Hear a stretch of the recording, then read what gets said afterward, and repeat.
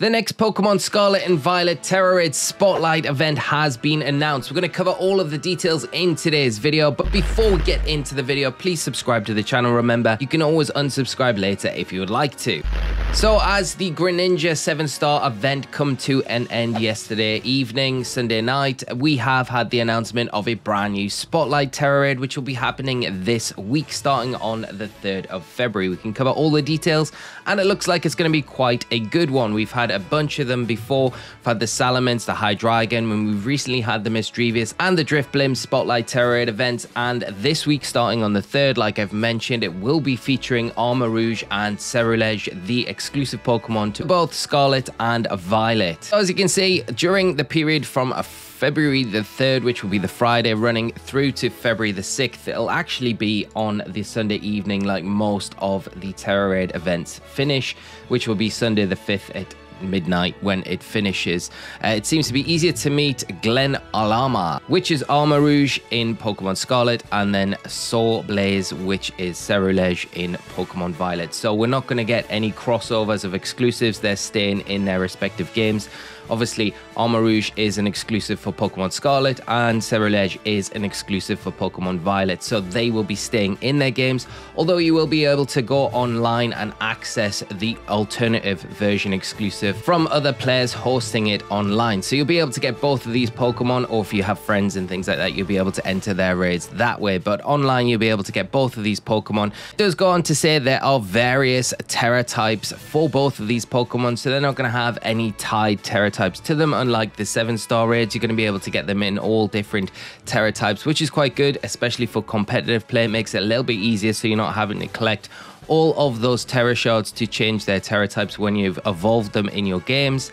Like I say, the period is going to be running from February the 3rd until February the 6th, which will actually be February the 5th at midnight before it ticks over to midnight. And a few more details. They'll both be 4 and 5 star Tera raids, and they'll only appear in their respected copies of the game. Like it says here, that Armarouge will only appear in Pokemon Scarlet, and then Ceruledge will only appear in Pokemon Violet. Then it goes on to say the Tera raid event will change depending on the time zone that you're in. So obviously, like we've mentioned before, it does say February the 6th here, but it will be ending on February the 5th at midnight UTC like they normally do. So just bear that in mind. It will not be rolling over. But if you don't go online after the Sunday anyway, you're going to keep the Tera Raid event in your game.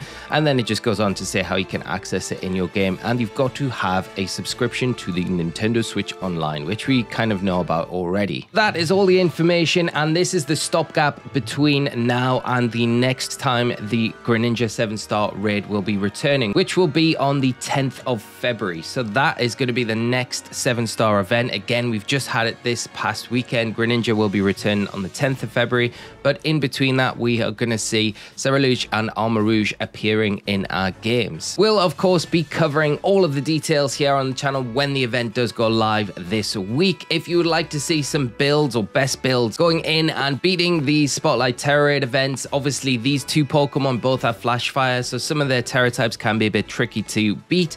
I will be happy to put a video out later this week covering a bunch of options for you to make it a little bit easier. But let me know down in the comment section below if you would like to see that video.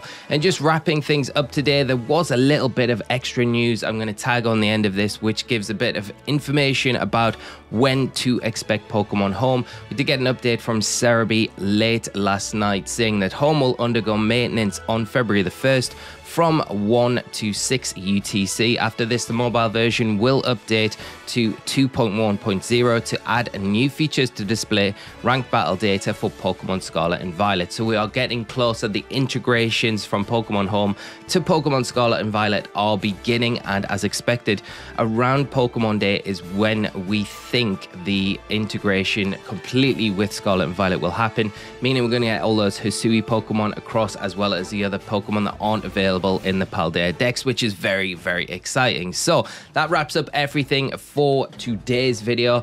We have a brand new Spotlight event happening later this week. I'm excited for this one. Let me know your thoughts down below. I'd love to hear, are you excited for Armarouge and Ceruledge coming to the Spotlight Tera Raids? I think it's a really nice one, actually. I like both of these Pokemon, so it's going to be an opportunity to get a bunch of them with different Tera types for competitive play and other things like that. Thank you so much for tuning in. Have a great rest of your day, and I will catch you all in another video very soon. If you have, drop a like, do sub if you're new to the channel, all that good stuff. And I will see you all in another video very soon. So until then, friends, take care of yourselves and bye bye.